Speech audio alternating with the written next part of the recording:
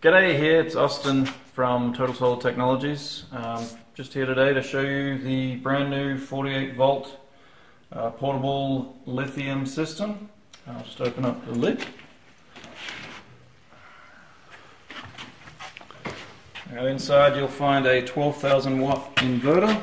This is a 48 volt system like I just said. It's pure sine and this is as big as they come as far as portable can be expected for it. Uh, it can do 110 to 220 easily. And we've got two 100 amp solar charge controllers. Uh, currently got a few panels out, outside just showing you what it can do. Uh, but this is rigged up for 16 solar panels and this particular customer is getting 260 watt per panel.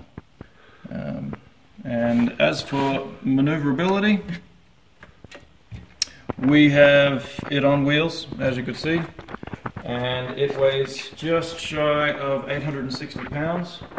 So we don't recommend you move it too far, uh, and if you do, please have assistance. And otherwise, uh, we do have this to be EMP resistant. Um, there is a pipe out the back here where we feed a lot of our cables through. Uh, solar panels, 220, RV, 110. And then we've sealed up all the other exits where any pulse could get through.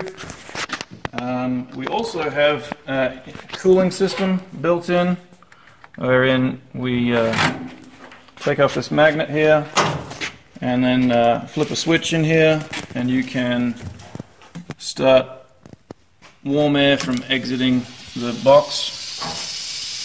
Obviously it'll work even better with the lid open, but if needs be, you can run it with the lid closed and this fan will make it exit the system. We have the vents on both sides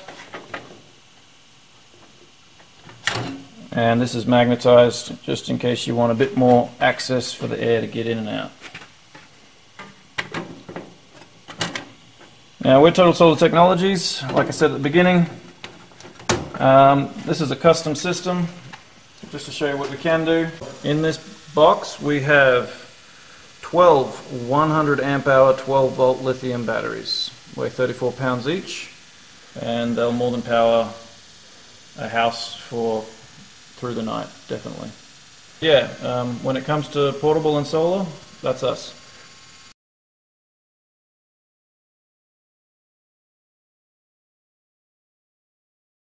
G'day Keith, uh, this is Austin. I'm here to run you through some basics of your system so you know what to do once you get it. Okay, so first off, these are your solar charge controllers.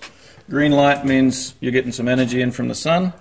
What we recommend is that you always have at least one to two panels plugged in to keep your batteries nice and healthy and happy. Okay, so if you can't leave them in all the time, at least for a day or two, once a month. And then, then you'll see your battery levels go back up and then that'll keep them happy. All right, so now I'm going to talk about um, using and knowing more about your batteries. Uh, first of all, they can't be overcharged and they can't be discharged too low. They've got basically a computer inside the battery that protects it from that happening. So they're sort of fail-safe in that regard. Um, but what you want to know is, say for your inverter, uh, if you drain your battery down too much because the 48 volt inverter, once the inverter is not getting enough juice, it'll just shut down because you haven't got enough power for things to run. So that'll be a sign, oh, the lights go off. Oh, it must be too low on my battery. Battery, that means you've got no juice and you will have to spark them to get them back. Doesn't mean they're damaged. The lithium battery is a lot more robust, than the most robust battery, really. Um, and so it's just a bit of effort to get it back up, but it's a lot easier, as I said earlier, to keep them charged and above a sufficient level. Um, in that way, you know, it's going to work just fine. Okay, so these are your remotes for your charge controllers. So from left to right, this is how much energy you're getting in from the sun. And then this is how much you've got in your storage, aka batteries, and this is how much you've got for use, which is the light bulb symbol. Uh, same for here, press the OK button, it turns on the screen. If you leave it, it'll just turn off eventually, or yeah, it'll just turn off.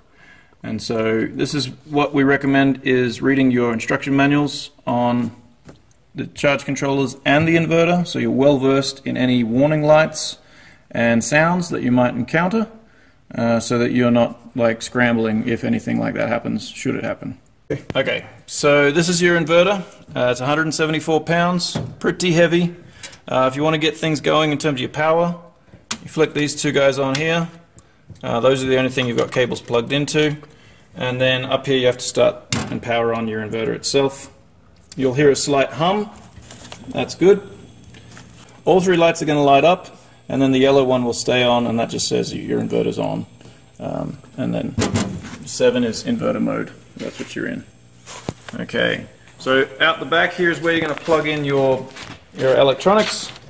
You got your 220, your RV plug right here, and you got your 110, which you can plug in another extension cord into. We're going to include a multi-plug uh, adapter for you as well that you'll get.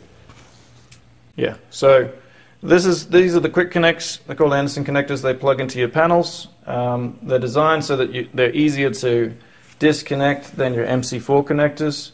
You'll find that with use. And so these will go back and plug into your panels just like that. Uh, you've got because you've got two charge controllers, I'm going to group these with some zip ties so you know which one's which. And then just in case those zip ties ever fail, I'm going to leave a marking on each one.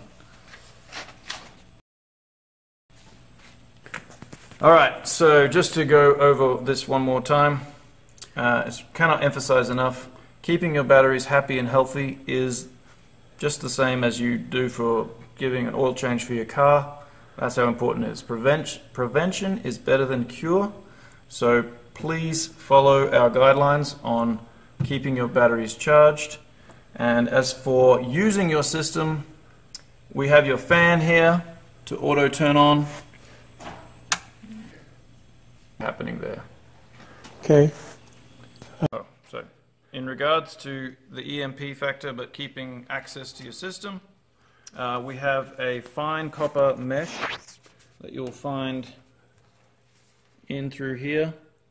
And basically, for ease of use, we've put little tiny magnets in there for you to remove as you need to in order to access it uh, with either if you choose to um,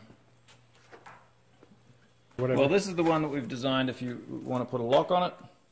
Basically, uh, there's a copper mesh here with magnet. You just take that off, and then you can access your lock. Uh, you need to buy a specially designed lock that will then hook into here, and it will sit inside this little bay. So, yeah. So please remember, if you've got the lock in and, it, and this can't cover it over, uh, the EMP resistance will not be there because you'll have a, an opening for anything to get through. Right.